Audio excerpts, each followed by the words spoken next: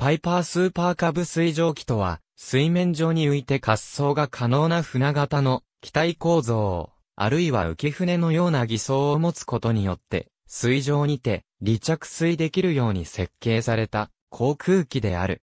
水蒸気として最初から設計されたものと通常の航空機が水蒸気として再設計されたものがある。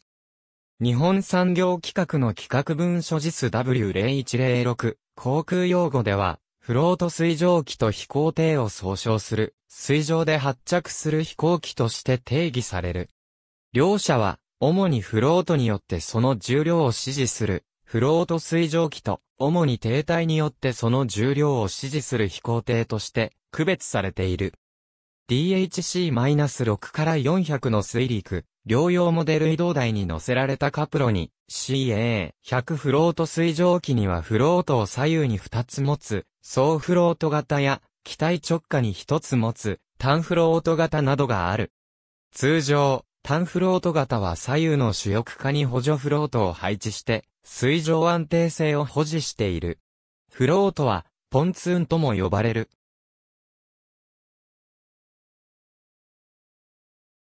また機体にフロートがついている様子から日本では下駄破機器とも呼ばれる。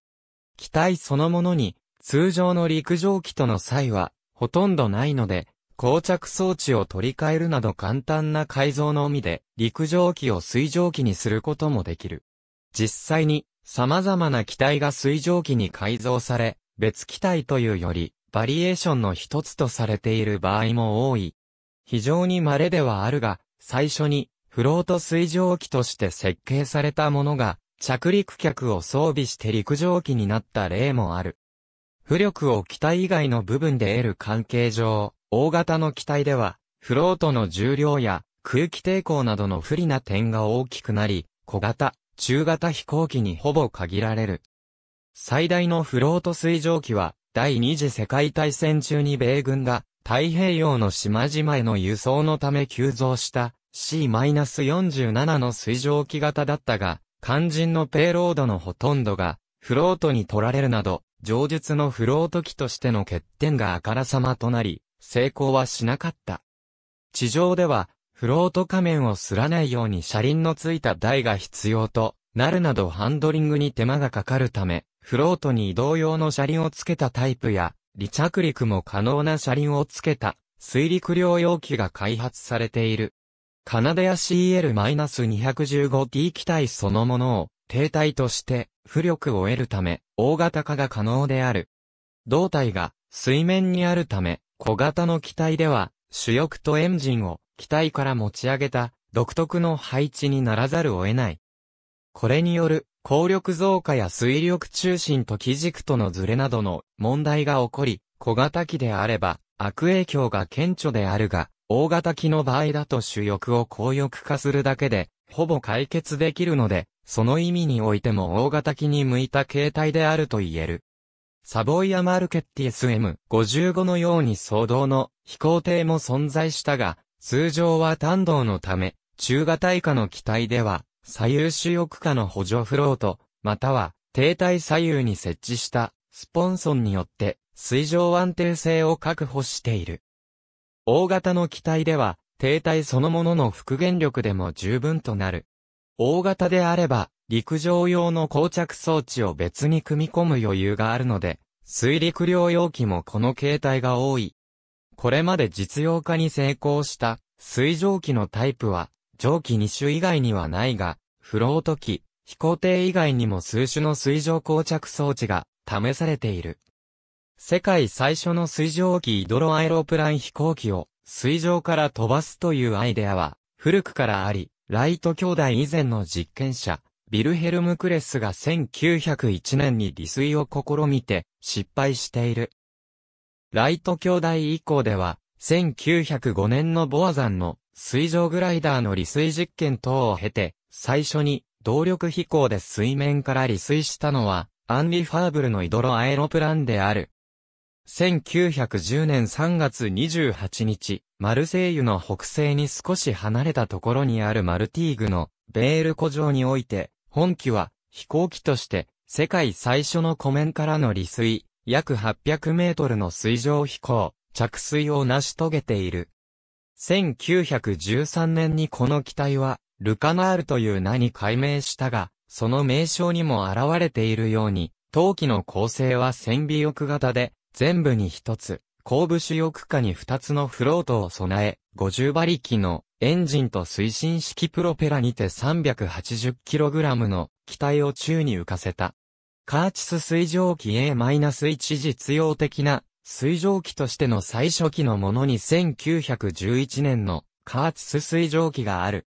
カーチス水蒸気はカーチス陸蒸気の膠着装置を取り替えたものであり、機体下部にフロートを一つ、左右に補助フロートを備えていた。機体構成は、まだ、ライトフライヤーのような骨の張りの翼と、ステーだけの構造から、大きな変化は遂げていない。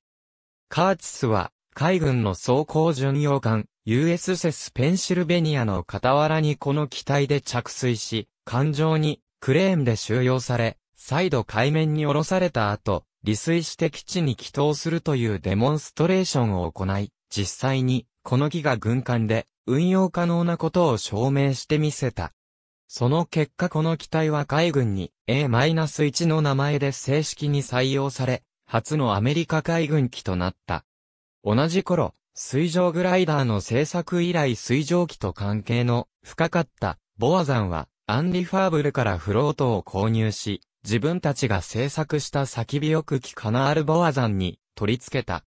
その機体は1910年にセーヌ川を飛んだ、初めての水上機となっただけでなく、1911年には、フランス海軍に買い上げられ、こちらは、初のフランス海軍機となっている。フランス海軍はこれらの機体のため、元は、修理艦や、機雷不設艦として収益していた、フードルを世界で最初の水上規模艦に改修している。フードルに搭載しようとされている水上機水上機は20世紀初頭には大きく2つの分野で注目された。大型旅客機1つは大型長距離土用機としてである。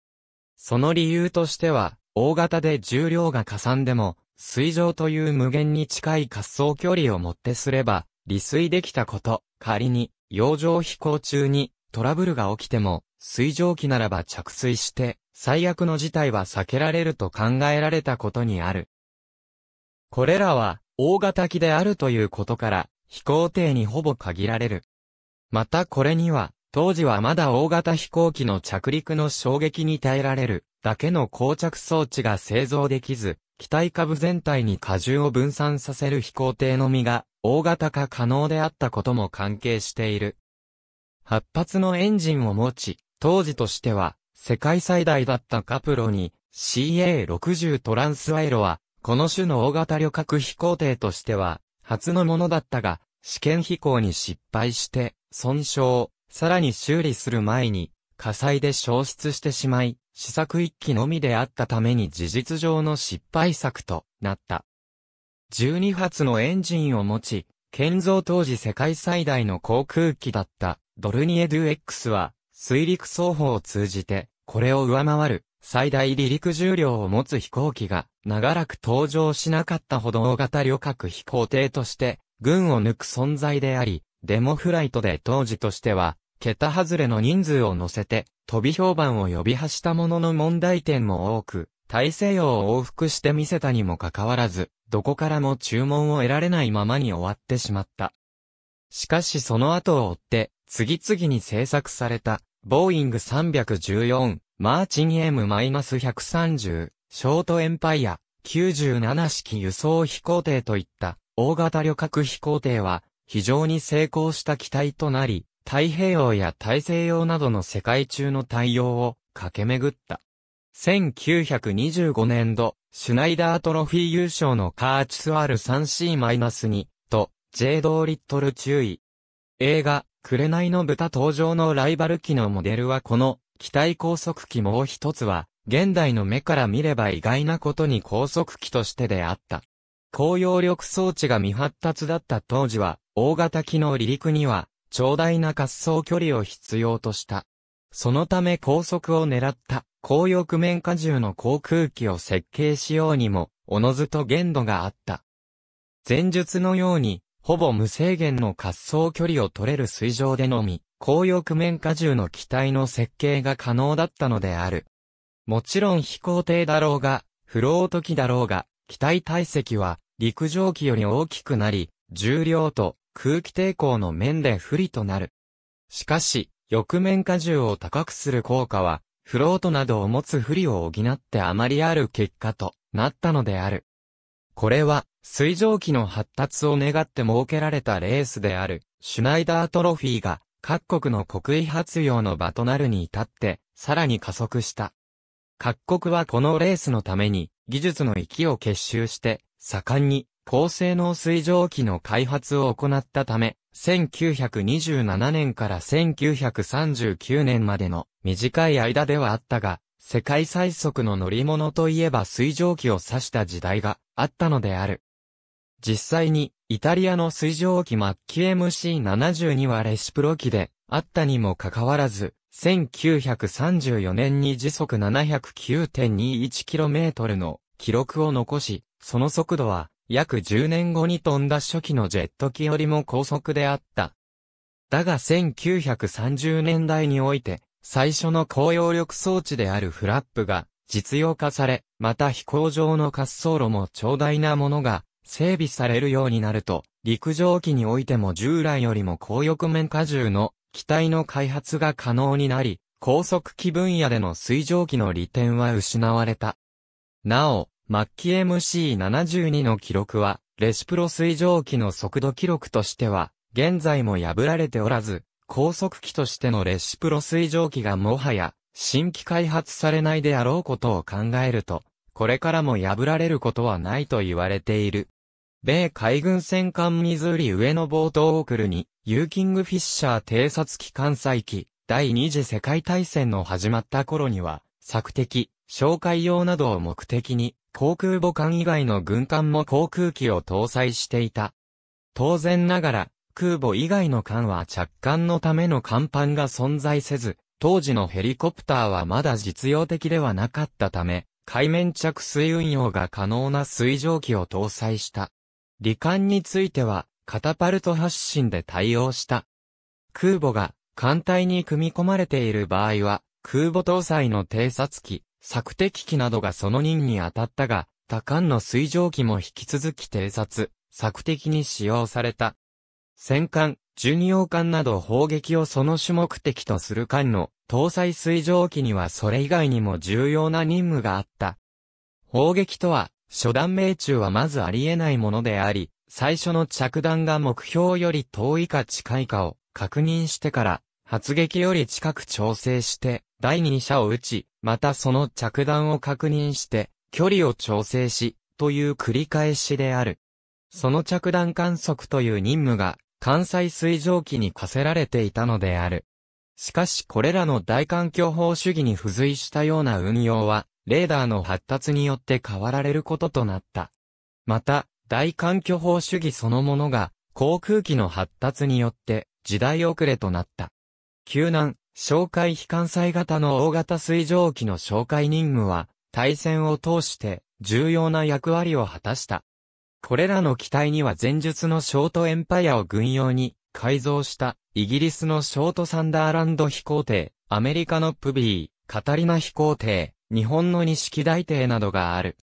潜水艦を探して洋上を長距離飛行する対戦哨戒機としての役割には、飛行艇はもってこいだったのである。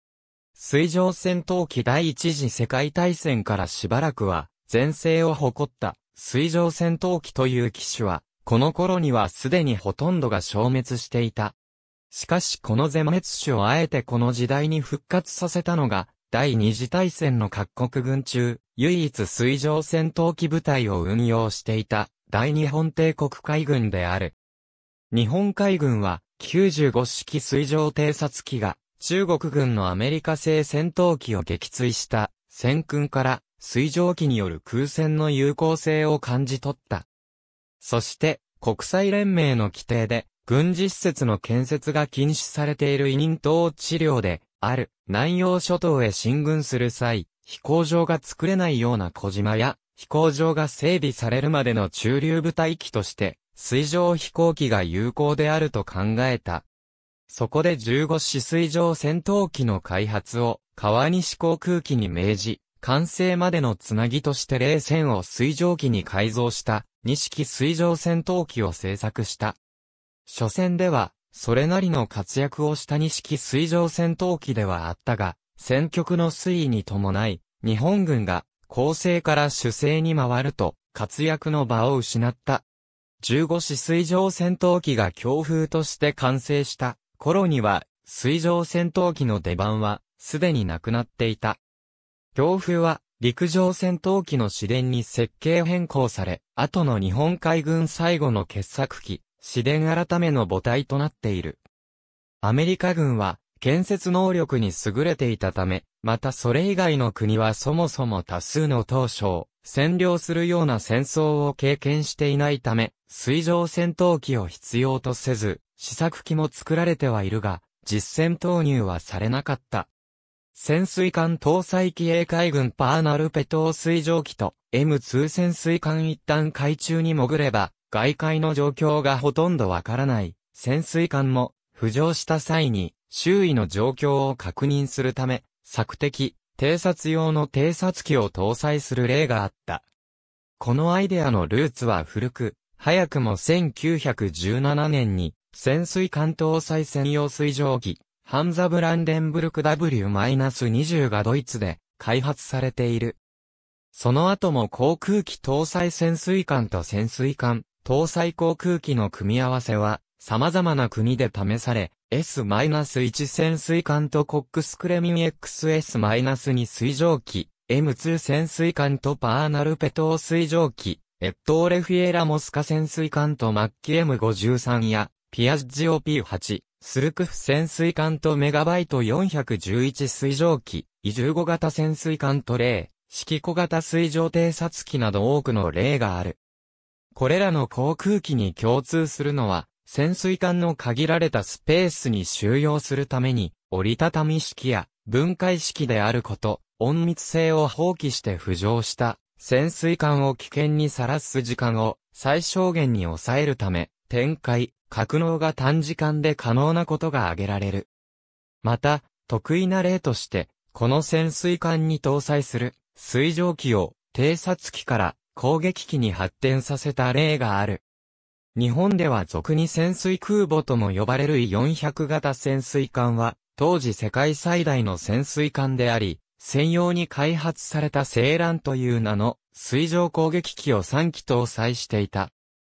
スリランカ航空の DHC-6 の100第2次、対戦後、陸上機の信頼性や航続距離の向上、地上設備の完備などから、長距離旅客機、対戦哨戒機などもほとんど陸上機で賄われるようになり、レーダーとヘリコプターの発達により、関西偵察機としての使命も終えたことから、水上機は航空機開発の花形ではなくなる。米軍は、ジェット水上戦闘機、シーダートの開発を試みたが、実用化はしなかった。しかしその利点は今なお健在であり、ベリエフをはじめとした各メーカーが、ジェット飛行艇を製作するなど、戦後も多くの優秀な水上機が開発されている。滑走路を必要としない水上機は飛行場が整備されていない島、地域で今日でも有効な足として利用されている。スリランカ航空では観光客を島々へ送迎するエアタクシーとして水上機仕様の DHC-6 を利用している。遊覧セスナ172など小型機にフロートを追加した水上機が遊覧機として多数利用されている。自動車部品メーカーのサードが富裕層向けの小型水上スポーツ機の開発を予定している。瀬戸内シープレーンズが2016年から瀬戸内海で観光遊覧飛行への利用を始め、親会社のツネーシホールディングスが遊覧飛行で使用する機体を製造するクエストエアクラフトを子会社化している。海難救助機沿岸地域の海難救助はホバリングが可能で小回りの利くヘリコプターがその2にを引き継いだ。しかし、外洋での救助活動は、航続距離が長くしのげ波性能の高い飛行艇が、今でも役立っている。新明和工業は、救難用の飛行艇 US-1、US-2 を製造している。海難救助のみならず、飛行場のない離島での急病人移送などにも使われている。消火デモンストレーション中のカタリナ消防、飛行艇最近注目を集めている飛行艇の用法として大規模火災の消火がある。山火事などの現場近くの海面、湖面に着水し、機内タンクに取水して、再利水、現場上空にて放水するものである。プビー、カタリナなど、旧来の飛行艇を改造する例も多いが、ロシアのベリエフ BE-200 などは、最新式の総発ジェット飛行艇であり、消防飛行艇としての能力も高い。地面降下翼機厳密には、航空機と呼ぶには、異論があろうが、飛行艇から派生したものとして、地面降下翼機がある。実用化されたものに、ソ連のエクラのプランがある。地面効果を利用すれば、航空機は通常よりはるかに効率よく飛行できる。地面効果といっても、効果を維持できる高度は低く、実際に地面の起伏に合わせて、その高度を維持するのは非常に危険であるため、基本は地面ではなく水面航行となる。そこで、通常飛行と地面効果利用の両方が可能な水蒸気として研究は始まった。その後、水面を離水しての飛行は不要と考えられ、船よりも速く、飛行機よりも経済的な輸送システムとして、エクラのプランの研究は続けられた。結果、ソ連は、隠したような機体を試作しカスピ海で試験、運航したが、偵察衛星の画像でこの種の機体の存在を知った当時の西側は、西側の設計思想とのあまりの異質さから、カスピ海の怪物と呼んだ。砲張った、ロールバッファロー、通水蒸気は着水後に、エンジンで滑走するのが基本だが、エンジンを止めた状態で砲を張れば、小舟ともなるため、一種の規範船とみなすこともできる。機械の信頼性が低かった時代には、エンジンの故障で、不時着水した際、陸まで移動するための予備動力として、取り外し可能なマストと帆が搭載されており、緊急時には、帆船となって移動することが想定されていた。これらの装備は、デッドウェイトであるため、エンジンの信頼性が向上すると、次第に搭載されなくなった。ロビンソン R44 クリッパーヘリコプターには、フロートを装備し、水陸両用とした機体が存在する。大型機、専用機は少なく、ロビンソン R44 クリッパーのような小型機に、フロートを取り付けた総フロート型が多いが、S-61、SH-3 シーキングや、ミルミ -14 ヘイズのように、胴体下部を低体構造にしたヘリコプターも存在する。軽量な陸上ヘリコプターの一部には、スキッドや機体下部に取り付ける膨張式のフロートが、オプションとして用意されており、緊急着水時に膨らませることで沈没を防ぐことができる。あくまで救助を待つための装備であり長時間の利用には向かず、フロートは使い捨てとなる。ありがとうございます。